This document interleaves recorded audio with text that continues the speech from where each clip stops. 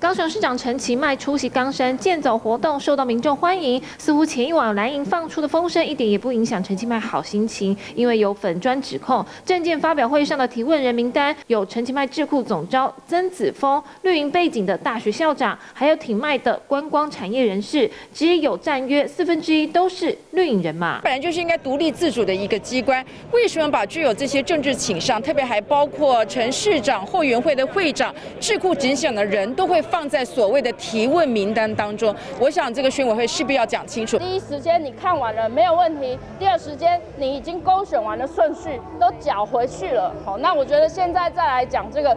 真的是出尔反尔，过而拆桥。选委会是独立机关，我们尊重选委会的安排。绿营反控蓝营过河拆桥，因为选委会提供名单给四位候选人后，也都没听说蓝营有异议。当初是他们名单西游记之后，我们也没有介绍说有任何说，哎，对名单有提出质疑。绿营续攻柯志恩涨价女王，立委赵天麟脸书二问柯志恩，当初为何坚持私校涨价？为何担任淡大学务长，宿舍费大涨百分之二十四？全全国最高，要他别回避，正面回应。他应该去问问看，学务长有这么大的权利吗？为什么把这样子的一个事情全部框在这样子一个头上？这是完全不实的一个指控。对于涨价争议，柯志恩反驳，当年公私立大学教育资源有落差，就算涨价也是为了创造更好教育环境。反批是绿营逻辑有问题。高雄选情随着蓝绿攻势不断越演越烈。继续为林依婷、杜颖杰采访报道。